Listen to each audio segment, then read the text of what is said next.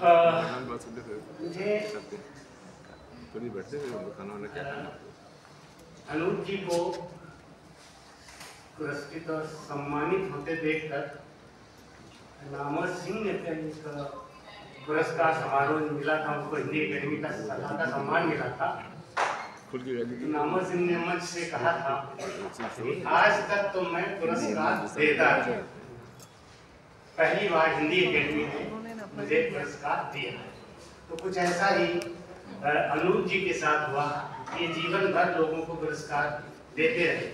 मुझे भी दिया आज पहली बार उनको यहाँ पुरस्कृत और सम्मानित किया गया। और हमारे बीच चले गए। उनसे चर्चा हो रही थी कि लखनऊ में जाके हम लोग उन्हें फिर पुरस्कार देंगे अब उनको पुरस्कार देने की प्रक्रिया शुरू हुई है अच्छा काम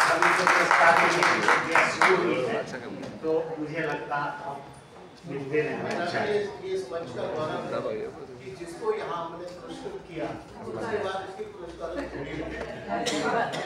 तो अनूप जी ने बहुत काम किया है, प्रेम चंद्र ने बताया था। और सब लोग जानते हैं कि पूरे जीवन उन्होंने लोगों के लिए किया ही किया, दिया ही दिया। मुझे नहीं याद पड़ता इन्होंने किसी से कुछ लिया एक बात और उनको पुरस्कार सम्मान यहाँ दिया गया और मैं उपाध्याय जी का आभारी हूँ कि उन्होंने इस मंच पर पूरा भारत इसे लघु भारत ये युवा मंच, इस अर्थ में अनूठा है कि यहाँ पर पूरा लघु भारत इकट्ठा हो गया है। एक पत्रिका यहाँ नांदी, अभी चर्चा हो रही थी। मैं उससे जुड़ा हुआ हूँ, हमारे मित्र थे, राजेंद्र साहब पांडे, जिनका निधन हो गया तीन चार साल पहले। उनके बच्चों ने बनारस से शुरू किया है नांदी सेवा ट्रस्ट। और उसी की पत्रिका तीन सौ पेज से मोटी, अच्छी पत्रिका, हिंदी में ऐसी कोई पत्रिका दूसरी है नहीं।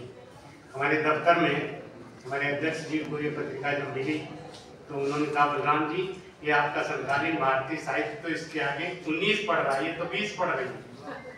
तो बनारस से ये पत्रिका निकली वहाँ से दो पुरस्कार एक एक लाख के हैं। और युवाओं के लिए वहाँ भी पाँच पुरस्कार इक्कीस इक्कीस हज़ार के हैं। आप लोग उससे जुड़े नाम याद रखिए आप जो लिखने पढ़ने वाले लोग हैं वो यहाँ से एक कॉपी और ले लें शशिकला जी ने बीस तीस कापी भेजी थी मैंने यहाँ रख दी है। इनको पुरस्कार मिला है, वे सारे लोग नांदी कार्यक्रम ले लें और बाकी लिखने पढ़ने वाले लोग हैं।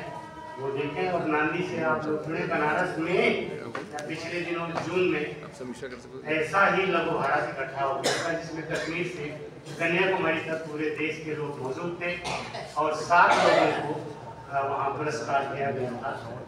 पाँच पुरस्कार युवाओं के लिए है। ये मंच गाँव के लिए है और आज बहुत सारे युवा और वरिष्ठ सम्मानित हुए। मैं सबको बधाई है।